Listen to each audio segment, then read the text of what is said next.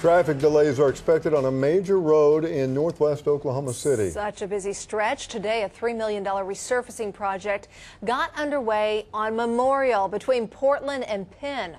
Our Sylvia Corkill joins us with when work is expected to wrap up. Sylvia? Amanda Kelly, work here won't be done anytime soon. They're expecting work to wrap up within about five months. Plan ahead, expect congestion and delays. With 26,000 cars traveling the stretch of road each day, letters like these went out to businesses last week outlining the project and what to expect.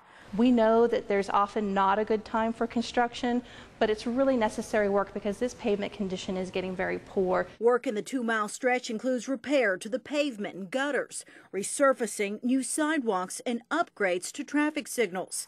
To minimize impact to motorists and businesses, a lot of the work will occur at night between 7 p.m. to 6 a.m.